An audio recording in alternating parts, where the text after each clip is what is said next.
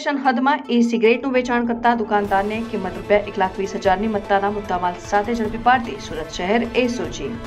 સુરત શહેર police commissioner Shri અજ- અજયકુમાર તોમર સાહેબ નાઓ દ્વારા સુરત શહેરમાં નાર્કોટિક્સ ડ્રગ્સની બદીને નેસ્તનાબૂદ કરવા માટે road drugs in Surat city અભિયાન ચાલુ રાખવામાં આવેલ છે, જે અભિયાન અંતર્ગત સુરત શહેર પોલીસ નાર્કોટિક્સ ડ્રગ્સની બદીને ડામવામાં સફળ રહેલ છે. વધુમાં માનનીય પોલીસ કમિશનર સાહેબશ્રીને ધ્યાને આવેલ કે શહેર વિસ્તારમાં આવેલ પાનના ગલ્લા તથા ટોબેકો પ્રોડક્ટ્સના હોલસેલ વિક્રેતાઓ દ્વારા ઈ સિગારેટ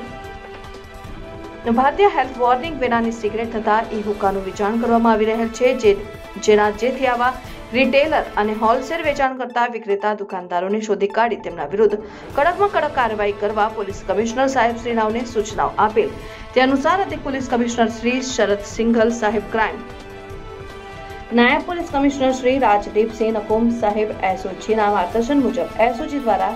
કામગીરી કરવામાં આવેલ ઉપરોક્ત સૂચનાને આધારે એસઓજીપીઆઈ એપી ચૌધરી નાઓએ સુરત શહેરમાં વિવિધ વિસ્તારોમાં આવા પ્રકારની ભારતીય હેલ્થ વોર્નિંગ વિનાની સિગરેટ,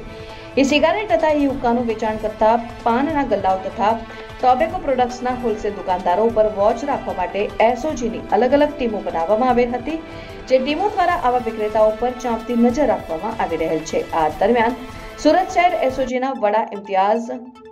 ફકરો મોહમ્મદ તથા જક્ષીભાઈ શાંતિભાઈ નાઓને મળેલ બાતમી હકીકતને આધારે એસવીએનઆઈટી સર્કલ ખાતે આવેલ Devashish કોમ્પ્લેક્સમાં Banarasi paan and cold drink નામની દુકાનમાં રેડ કરી દુકાનદાર આરોપી પ્રદીપ કુમાર રાજેન્દ્ર પ્રસાદ પાંડે ઉંમર વર્ષ ચોત્રીસ રહેઠાણ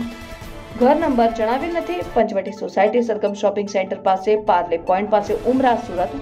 વાળાઓને ઝડપી પાડી. તેની દુકાનમાં ગેરકાયદેસર રીતે રાખેલ ઈ સિગરેટ ગેટ ચાર હજાર કંપનીની ઈ સિગરેટ નંગ આઠ યોટો પાંચ હજાર કંપનીની સિગરેટ નંગ સોળ એએલએફ બાર પાય